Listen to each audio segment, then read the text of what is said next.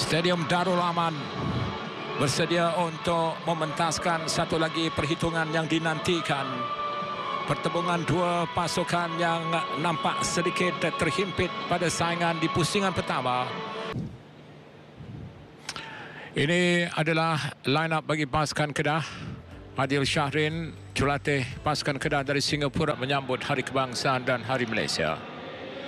Ini adalah formasi yang diterjemahkan oleh Aidil Syarin 4231 Mahmud Al-Madri perlu dirantai. Jadi satu lagi malam hujan untuk jurulatih Nizam Jamel dengan formasi 433 dia pasti mengharapkan agar Kapten Brandon Gunn mampu Darul Aman untuk memeriahkan pertempuran di antara Kedah menentang pasukan Selangor. Kayun di tengah di bahagian menjaring empat gol untuk Kedah setakat ini dalam saingan Liga Super.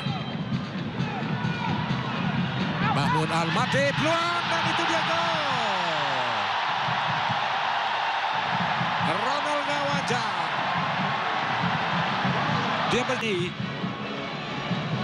Kedah menggunakan kesempatan itu berlaku sedikit kelewatan kawalan.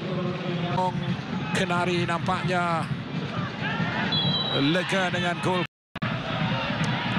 Kedah memperolehi gol pendahuluan berpunca dari sepakan percuma Mahmud Al-Madri dan disudahkan oleh Ronald Nga Wanja tadi.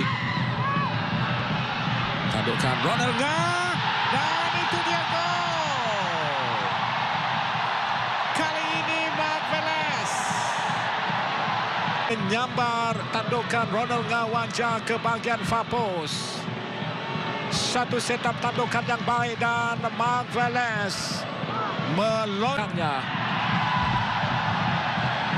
Gol pertama Mark Velez. Ajakwa. Kayon.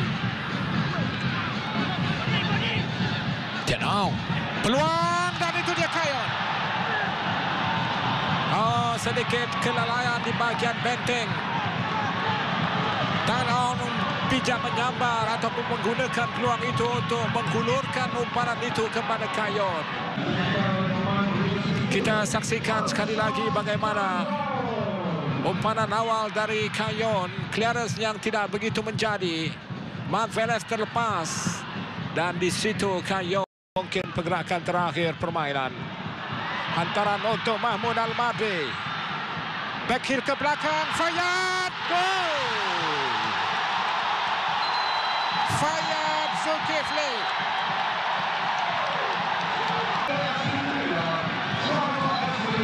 Satu hantaran jauh yang cantik dikawal kemas dan heel baik dari Mahmud Al-Madri dan tapping kencang itu dilakukan oleh Fayad Zulkifli bertaraf berkelas tinggi.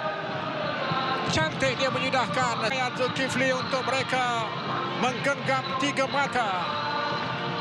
Menyaksikan kemenangan pasukan Kedah ke atas Selangor dengan keputusan muktamad Kedah 3 Selangor 1